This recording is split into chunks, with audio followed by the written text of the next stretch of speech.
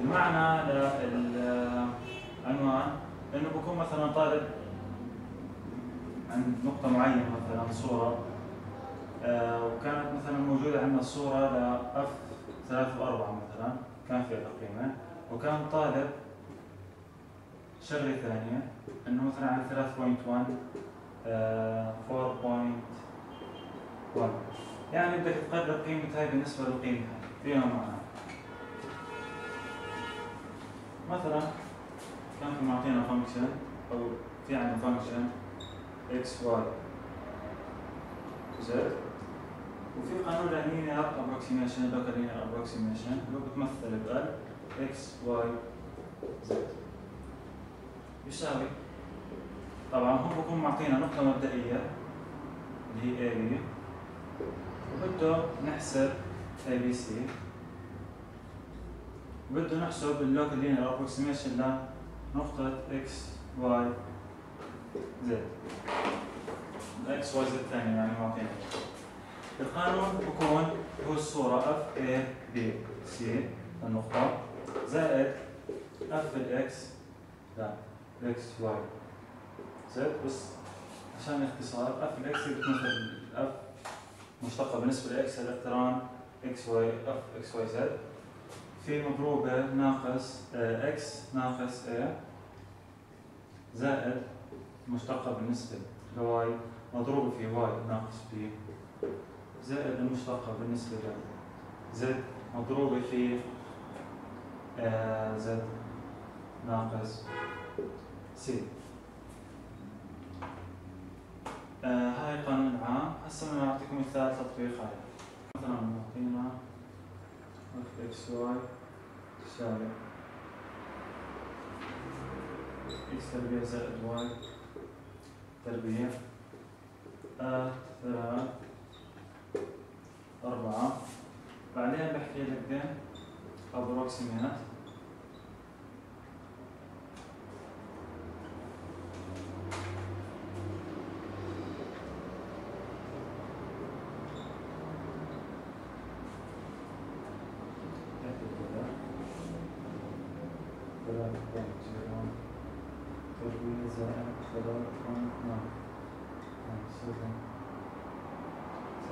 طبعا هاي بتمثل x وهاي بتمثل y نطبق على القانون مساء. x y the local approximation بدنا الصورة للنقاط ثلاثة وأربعة نعوض الثلاث تسعة زائد 16 تحت جذر خمسة. فعندنا الصورة خمسة زائد مشتقة بالنسبة ل x خلينا نقولها هون مشتقة بالنسبة ل x تساوي نص. x تربيع. زائد y. تربيع. فوق ناقص. نص في two. x اثنين. صفي إكس على إكس تربيع زائد y تربيع تحت الجذر تعويض القيم بالصفي ثلاث على خمسة. فعندنا ثلاثة على خمسة اللي هي f ال x مضروبة في x ناقص اللي هي ال x العادية ناقص ثلاث زائد مشتقة بالنسبة ل y. راح تكون نفس القيمة بس f ال y يساوي أربعة على خمسة أربعة على خمسة.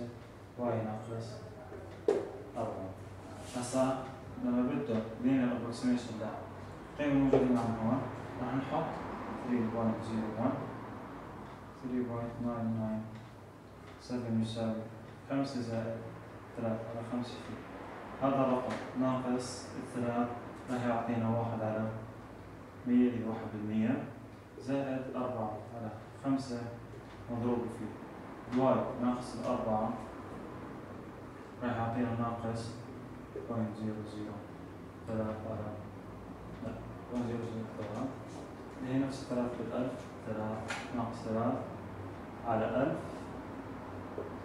وهيك بنكون طلعنا قيمة ال linear approximation في كمان مثال معطينا f x y z is at نقطة اثنين. واحد. معطينا linear approximation.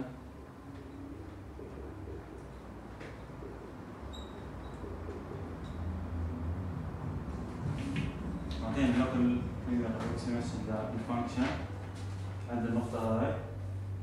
وطالب منا صورة للنقاط. ثلاث اثنين. واحد. وطالب منا قيمة المشتقة ل ثلاث اثنين واحد. بالنسبة ل x. بالنسبة ل y. وبالنسبة ل z. إحنا عندنا الشكل العام. هاي هون هسه رح نبلش. حل طالب منا صورة وطالب منا آه قيمة المشتقة ال x عند النقطة هاي. وبالنسبة ل y بالنسبة ل z وهم نفس النقطة اللي راح نبلش فيه اللي هو اللي local approximation approximate بيساوي اللي هي الصورة. هاي بشكلها العام x y زائد زائد f ال x. مضروبة في x ناقص اثنين زائد f ال y. مضروبة في y.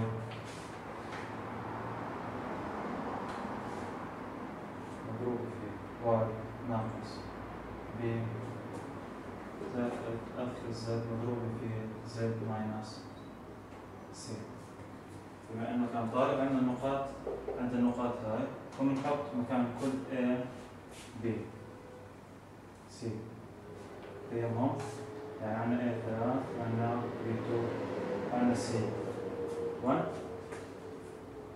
فهسه بدنا نقارن بين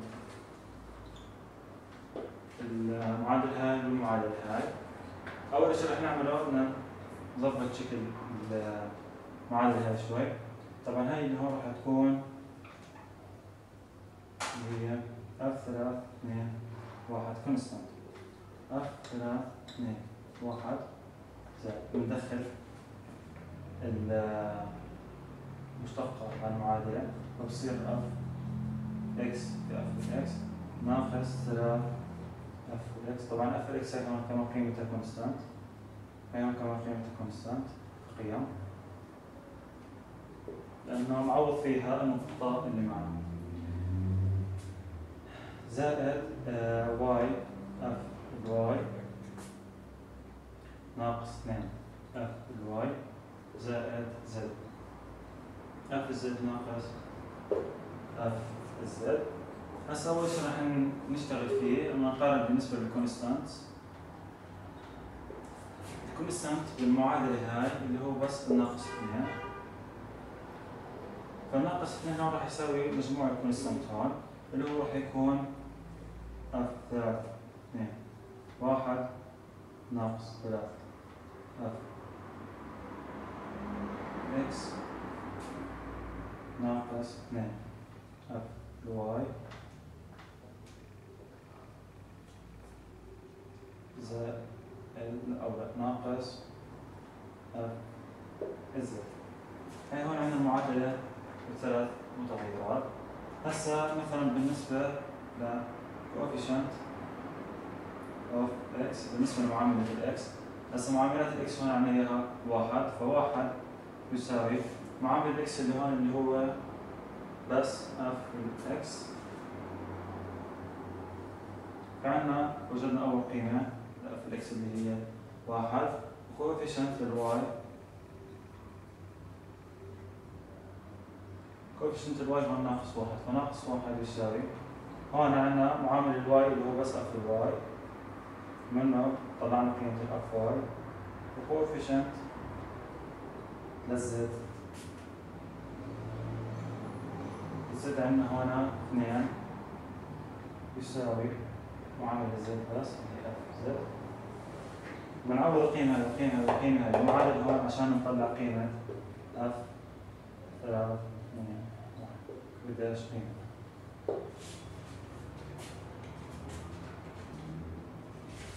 هسه راح يكون في إحنا عندنا بحث المشتقة صفحات كانت موجودة أو غير موجودة اللي هو تيست for a function f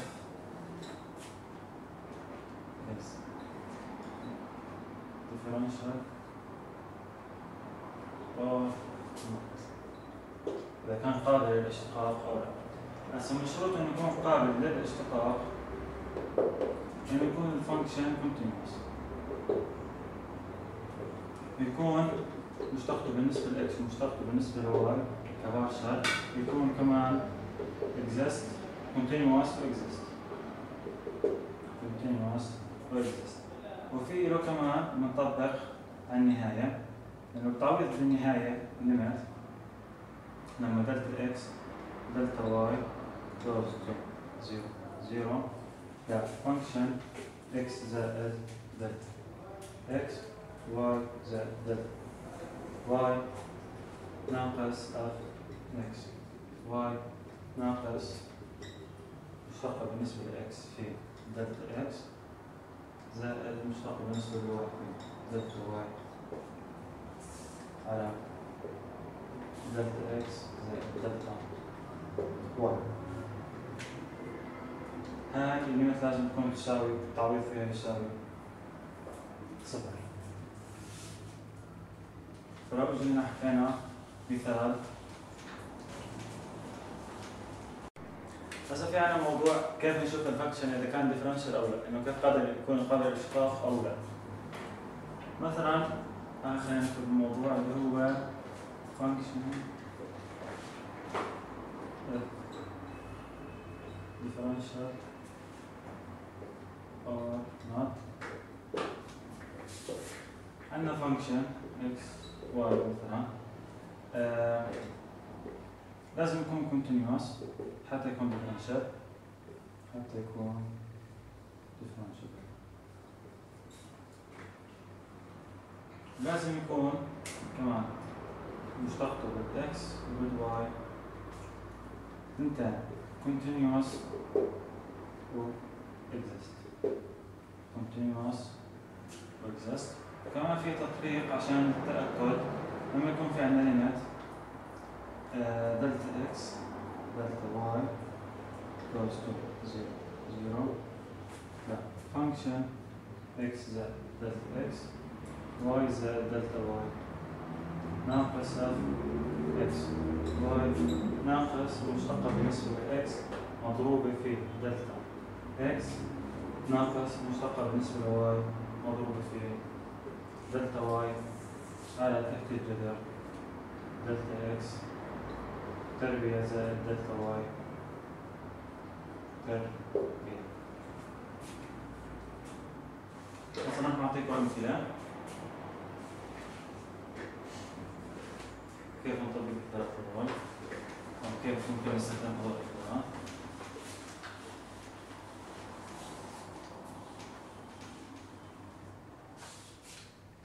لو كان عندنا مثلا function x y يساوي x y على x تربيع زائد y تربيع عند x y لا يساوي zero zero عند x y يساوي zero zero عند الواحد مثلا في واحد. طبعا هاي إحنا كنا مأخذينه من قبل. آه ال limit لا ال function هون does not exist at 0 0 فال function not differential at 0 0 يعني ال function differentiable من minus infinity لعند الصفر مفتوح إلى من الصفر مفتوح إلى ال infinity متصل بس. عند النقطة هاي not differential مثال ثاني عندنا function x y يساوي x تربيع زائد y تربيع. آه ال function هذا continuous من r. نضل علينا نشوف مشتقته بالنسبة ل x ومشتقته بالنسبة ل y. بالنسبة ل x اللي هي 2x بالنسبة ل y 2y الثنتين continuous coexist ضل عندنا تطبيق ال limit. عندنا ال limit قانونها دلتا x دلتا y goes to zero. Zero. لا. Function x زائد دلتا x فاصلة y زائد دلتا y. ناقص ال function x y. ناقص function x مضروب في دلتا x. ناقص function y مضروب في دلتا y. على دلتا x تربيع زائد دلتا y تربيع تحت. الجذر آه بندخل الإكس الدلتا إكس على المعادلة ال function الرئيسي. يعني نكمل حل عادي. limit دلتا x ناقص دلتا y يساوي zero. عندنا اياها تربيعية إكس تربيع زائد 2 إكس دلتا إكس زائد دلتا إكس تربيع زائد واي تربيع زائد 2 في واي طبعا فكانت تربيع هنا دلتا y في دلتا y زائد دلتا y تربيع ناقص x تربيع ناقص y تربيع ناقص function مشتقة بالنسبة ل x اللي 2 x حيكون في عندنا 2 إكس دلتا. إكس ناقص 2 واي دلتا. واي على دلتا. إكس تربيع زائد دلتا واي تربيع تحت الجذر هسه هون نحن حللناها. ضل عندها عندنا هون x تربيع هون minus x تربيع فبروحوا سوا. وعندنا دلتا لا عندنا 2 x دلتا x موجود هون minus 2 x دلتا x عندنا y تربيع هون وعندنا minus y تربيع هون. عندنا 2 y دلتا y هون عندنا 2 y دلتا y minus هون positive وضل عندنا بعد ما نصفي كل شيء تكمل الحد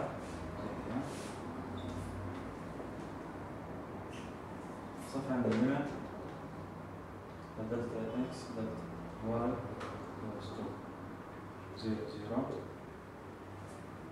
اللي هو دلتا إكس تربيع زائد واي تربيع على تحت الجدول دلتا إكس تربيع زائد دلتا واي تربيع هاي هون نعتبرها قوة نص متطلعة في الوقت فبصير عندنا ليمت دلتا x تربيع زائد دلتا y تربيع تحت الجذر أو قوة نص لدلتا x دلتا y goes to zero zero بندخل zero zero جوا فلن تساوي zero إذا differential هاي نكون خلصنا الموضوع.